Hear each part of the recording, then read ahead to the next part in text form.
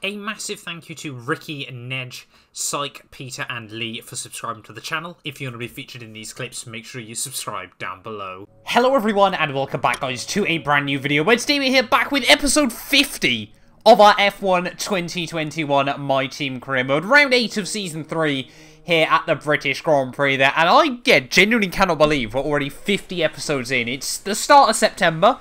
For some reason, the UK has decided to go into a heatwave this week, so content might be a little bit thinner on the ground than I'm sure some of you guys might want as well. But sitting in my room sweating on F1 uh, when, when yeah, the weather is lovely outside as well is not something I want to be doing all the time. But to celebrate the 50th episode of our My Team Career Mode, I logged on to F1 tonight to record this video, and it wiped the last three races of this series. Uh, it took, I logged in, and it went back to Canada. So love that. So it means, uh, uh, for those of you that watch the Williams Road to Glory as well, I've now lost the Belgian Grand Prix, that point we scored there as well, uh, which is rather infuriating. I can't lie. Um, I simply don't have the time to go back through and do three Grand Prix again, or four if you include that one as well there. So for this series, I've had to simulate through uh, to back to where we are now. I've tried to keep, obviously, everything that I can control uh, exactly the same as we left it there. So obviously, we've gone level 3 on the aero and the fabrication there. Obviously, we've got a lot of upgrades still currently in the works. You can see we're now the second best team in Formula 1, getting some ultimate upgrades on the car there. You can see three ultimate upgrades still in the works uh, that should be ready for the Hungarian Grand Prix next time out there. But it has meant the championship standings are a little bit different. Ricciardo leads the way on 119 points there ahead of Hamilton and Norris still, which is about where it was. Uh, Tsunoda's ahead of Charles Leclerc. We're down to 8th, uh, just behind Carlos Sainz and Max Verstappen there, still way ahead of Perez, Russell and Button, who of course separated by just one point there in that battle for P9. Uh, you can see it gave us a 10th place at Canada, which actually was better than we did in the Real Grand Prix, and then two 8th places as well. Or I think France was, I think both of them were obviously a little bit of an underestimation. Obviously, we did come in clutch there. It gave Hamilton three race victories as well, so clearly the F1 game still loves Hamilton after the carnage of Season 1. Uh, but yeah, a little bit frustrated with that, but hopefully it doesn't affect too much of the bigger picture stuff in this series. Uh, I'm going to be tweaking the AI more and more as well uh, in the qualifying programs there because it's just ridiculous. You know, trying to run Ultimate AI, as you guys now have seen, uh, is impossible in qualifying. So we're going to be tweaking the AI levels a little bit more uh, between qualifying and races there. So a lot going on before this weekend. Let's dive in, finally, to the British Grand Prix. Cat life feeling a little bit rusty as we head into the British Grand Prix weekend. It's been a few days since I last logged on to F1 2021. Obviously, we've been doing some more WRC content as well over on my Rally channel, so if you want to go check that out, I would definitely, definitely recommend doing so. Having a lot of fun on WRC 10 so far, uh, but that was definitely not the line through turn 2. Silverstone, though, as always, is a track the AI nice and strong at. Watching the DRS zone, watch your MFD for the activation point. And of course, it was last season when we had some controversial contact with our teammate Robert Shwartzman there, and an even more controversial crash uh, with Mick Schumacher after some chassis damage. So it was a rough weekend last season, but obviously more and more upgrades on the car. Uh, we have now actually finished all the possible aero upgrades on F1 2021 as well, That we've still got a few chassis and engine, of course, durability as well. But yeah, really do feel like maybe not this season, but yeah, next season definitely. If we're going to be able to ever fight for a title on this game, then has to be it. Down in towards the final couple of corners, though, of this uh, track acclimatization lap. I'm going to hazard a guess and say it's going to be a green score. Yes. Good work. You seem to... Right, on to uh, the wear simulation run. Fingers crossed this one should be nice and simple as well. But nothing is ever simple on F1 2021 there. It's sliding the rear end through turn 1 and turn 2 a little bit. Puts us straight in the red. Coming towards the end of the lap though, we're hovering right towards the purple score. We just need to be nice and tidy. There we go. That was a pretty decent couple of corners towards the end of the lap there to launch us into the purple. Don't do anything stupid through the final couple of turns. And this should be a purple score to finish off free practice. There we go. Love to see that. Right, well, rather unsurprisingly then, for qualifying day here at the British Grand Prix, things have got a little bit wet, unfortunately, so we'll wait and see as to what we can do this weekend in qualifying then. Fingers crossed we can still keep the lap times in a pretty decent territory here. Again, obviously the AI very, very strong in qualifying trim. I'm running quite a dry-orientated setup as well then. Race tomorrow is still meant to be dry, so that is a snag of the brakes through turn three. Lucky we were able to get that slowed down still between the white lines. Yeah, struggling a bit with the front end. A lot of understeer Bottas sets the first benchmark there on a 36-2, but hopefully we'll see what JB can do as well, of course. Home Grand Prix for the pair of us. Mazepin goes a second faster already, down into the 135s, of course, in his Alpine.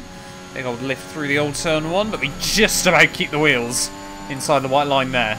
Right, find a couple of corners then. Let's try and get this first lap on the board. I think I've got enough fuel to go for another run if we need to here, but out of the final turn.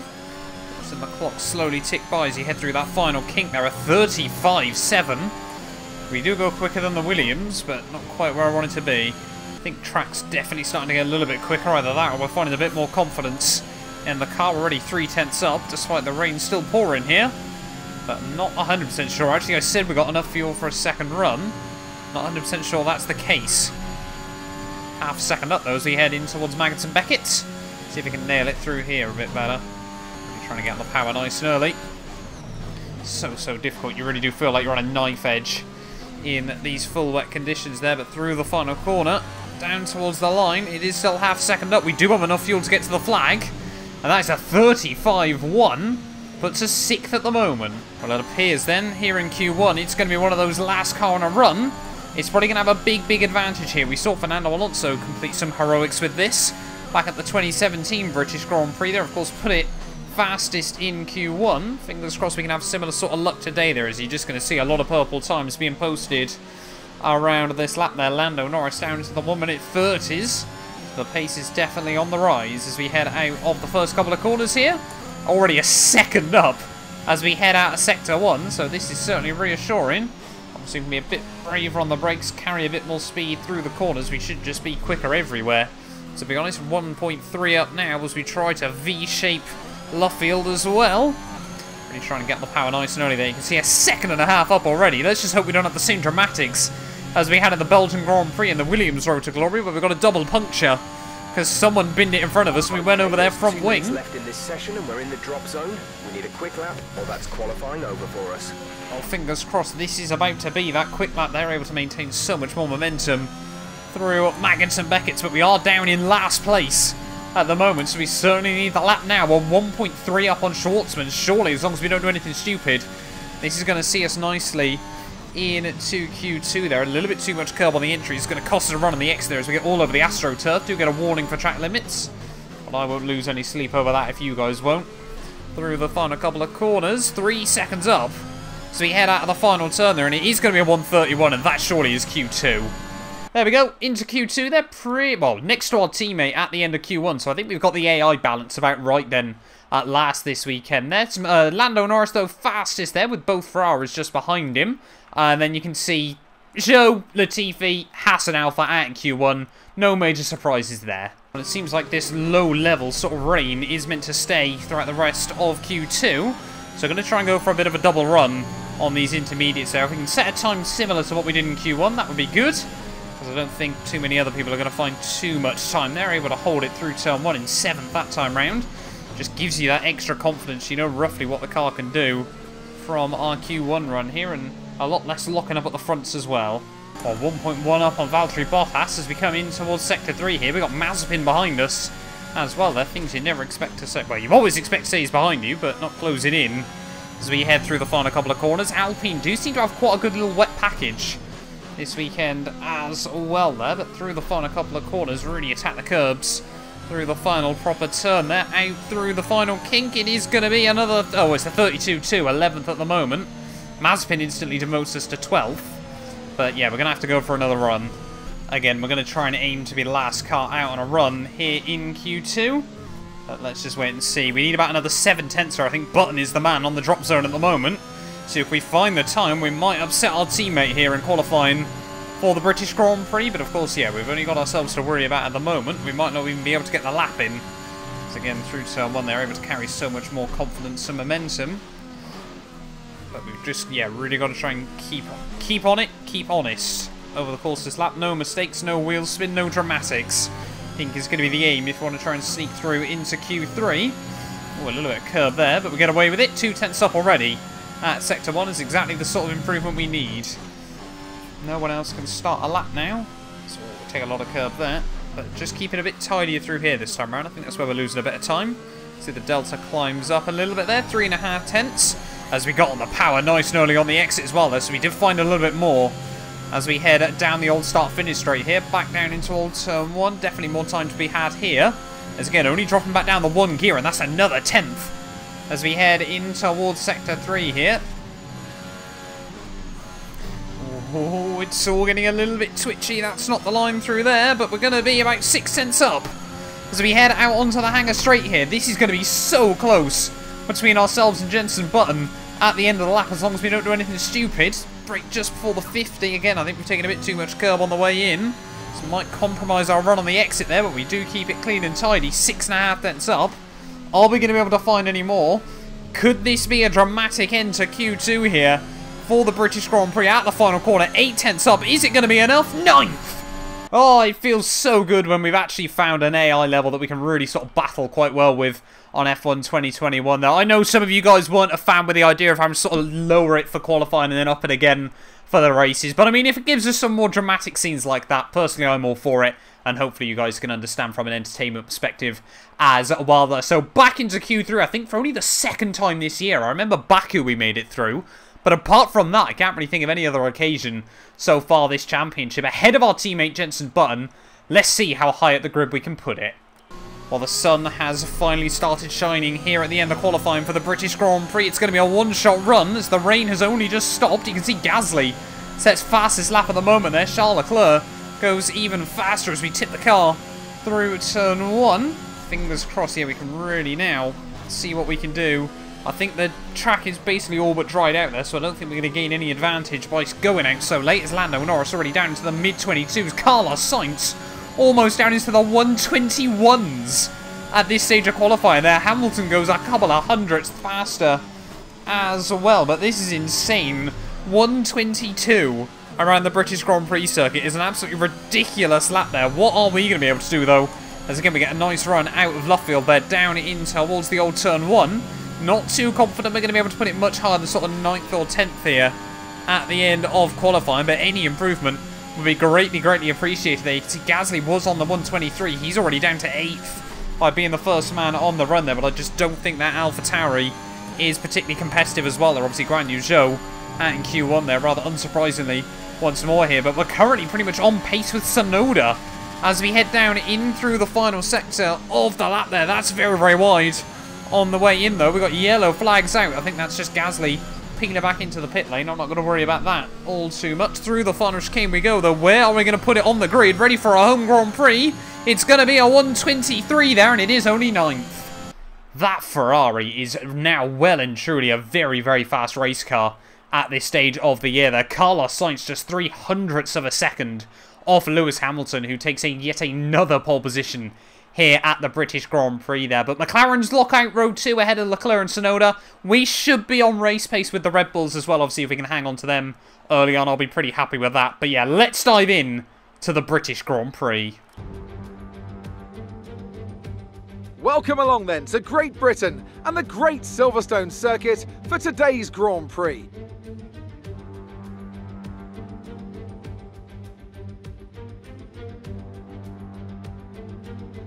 Straddling the border of Northamptonshire and Buckinghamshire, the 18 corners of the Silverstone circuit form the 3.6 mile beating heart of Formula One. It's been reinvented over the years, with Turn 1 now the fast right hander of Abbey, but the magic of racing is as strong here as it's ever been. It's race day yet again, and joining me for a chat, Anthony Davidson. And our racers are certainly in for a rough day today. What will you be watching for as they go down into turn one? Well, the start of the race is always one of the most nerve wracking parts. You have to hope that everyone is able to get off to a clean start, and this is possibly the trickiest part of the entire race. So many drivers in such a small space, and finding your braking point into turn one as well. It's a testament to the driver's skill that there aren't more incidents.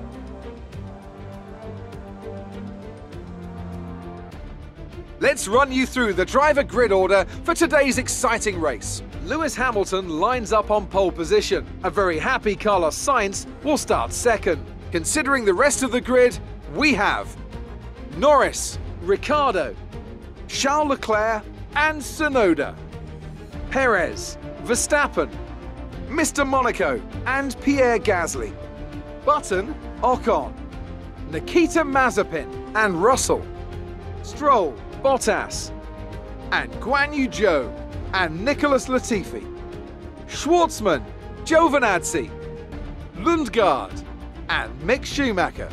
Which of these talented drivers will come out on top today? Okay, I know it's your home Grand Prix, but treat it like any other race. Don't take unnecessary risks.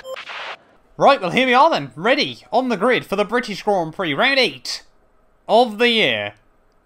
And that appears to be a wet, a dry to wet Grand Prix. This is about to get spicy, I feel, here at the Silverstone Circuit. I was right last weekend about Austria. Obviously, I said there, I reckon we could have done quite well. Game now says we came 8th, but we really came 4th on that one, but besides the point.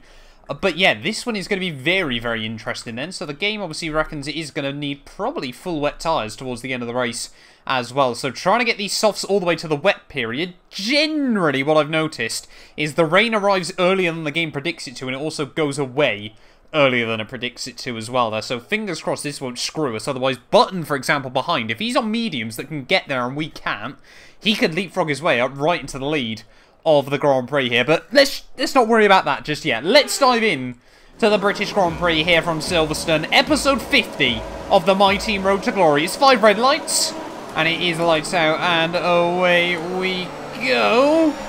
And that is not an episode 50 worthy start as we head down towards um, someone there. All the way straight down into 12th place, losing three spots to our teammate Ocon and Pierre Gasly off the start there. Mazepin almost runs into the back of me as well as Button tries to have a look past Ocon.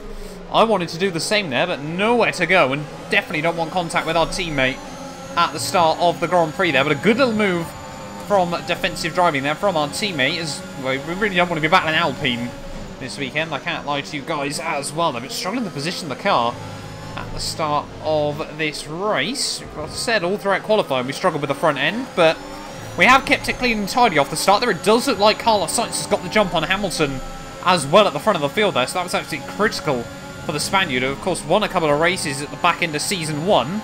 But Ferrari have just not had the good car since then. Mazepin, though, tries to get past us as we head in towards Maggotts and Beckett, but no, not, not happening, mate. Our Button's got a huge run down around the outside of, I think that is Max Verstappen in this Grand Prix there. Gasly's got past him as well. So Verstappen going backwards at the start of this race. I wonder if he's got some sort of mechanical issue in that Red Bull because he just lost two places down the hangar straight there. But, I mean, it's brought us a bit closer to this group again. I thought it was ridiculous that we were setting 122s in qualifying, almost 121s, but the AI... is being enabled this lap. We can use DRS when you are within one second of the car ahead and in the DRS zone.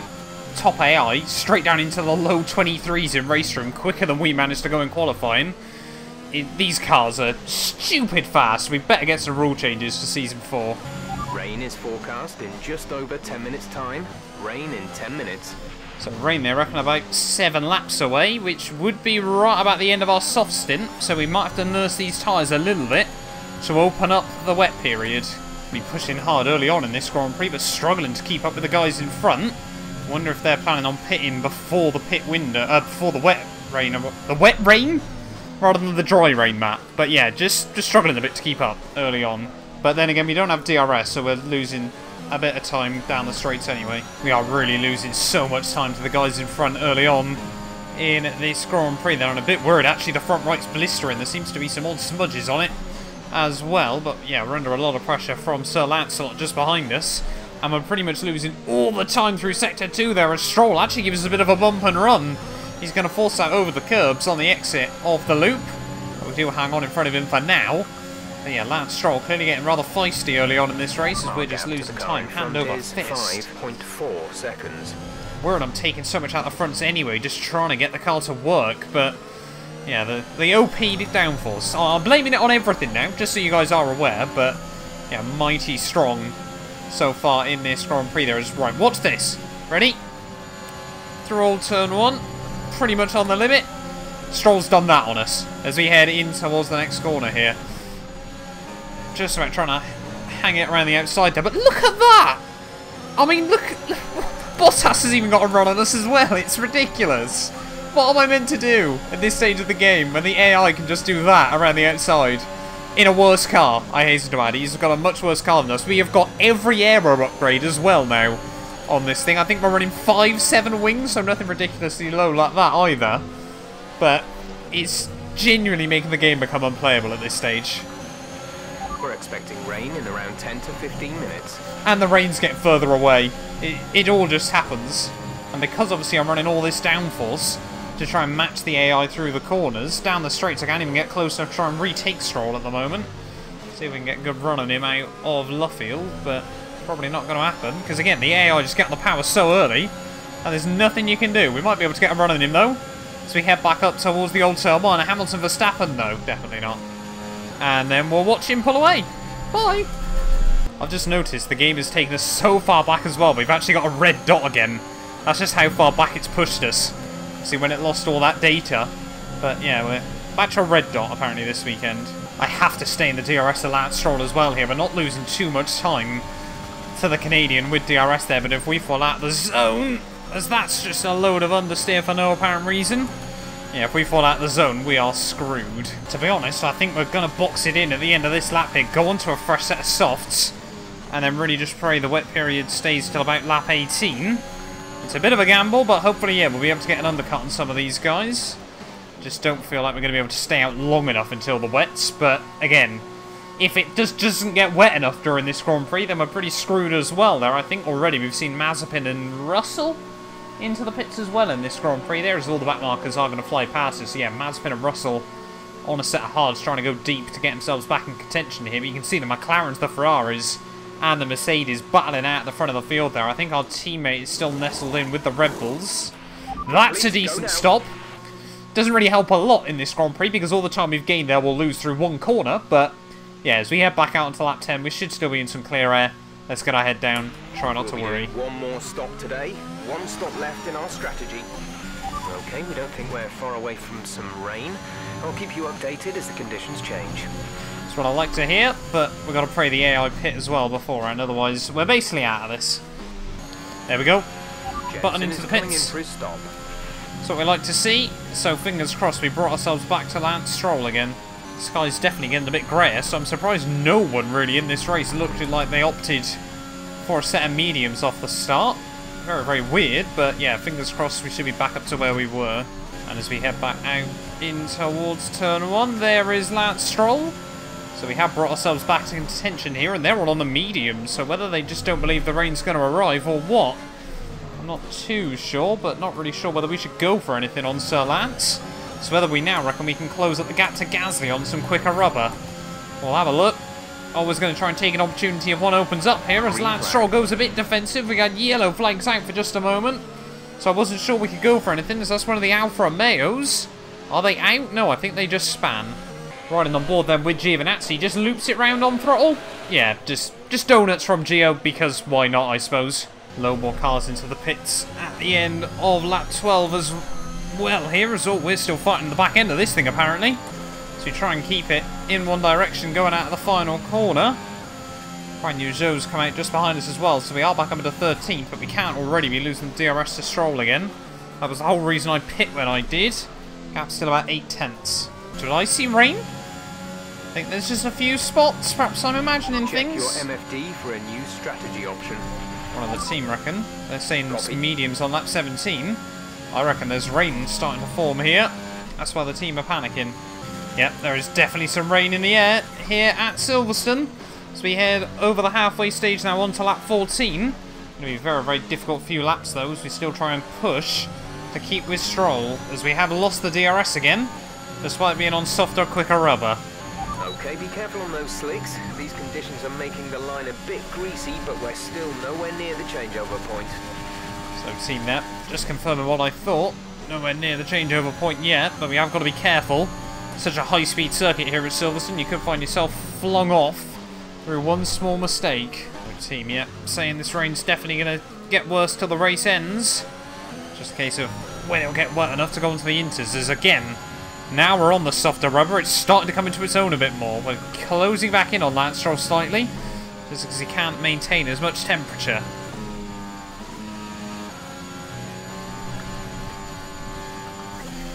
Ooh, that was close.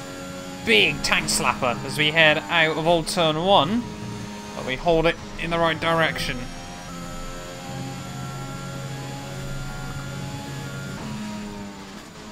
Oh, Stroll! Stroll's gone ringed! Ah!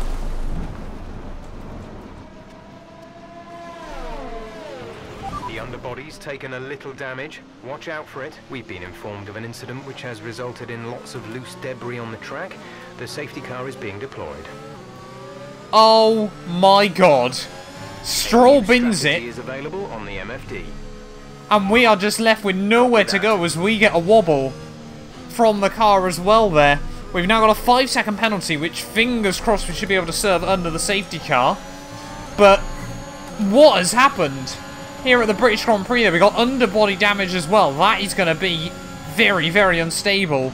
Now through to the end of the Grand Prix. It's deja vu after last season.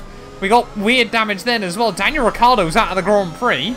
No idea what's happened to him, as we're now getting overtaken under safety car. Does just look like Daniel Ricciardo has had an engine failure in this Grand Prix there, so no dramatics there, like he's crashed into the safety car or anything like that. But yeah, we're going to need a whole new front wing, intermediate rubber as well there, so it's kind of not happened at too bad a stage in this race, but we're still going to be right out at the rear of the field there. But how unlucky can we get on F1 2021? The fact that, yeah, like I said, we have that snap of oversteer heading into the corner, but Stroll's already binned it, and we were just left with nowhere to go in that situation. I'm amazed, to be honest, it didn't rip the front wing off our car as well, but we're going to be back out pretty much at the rear of the field here.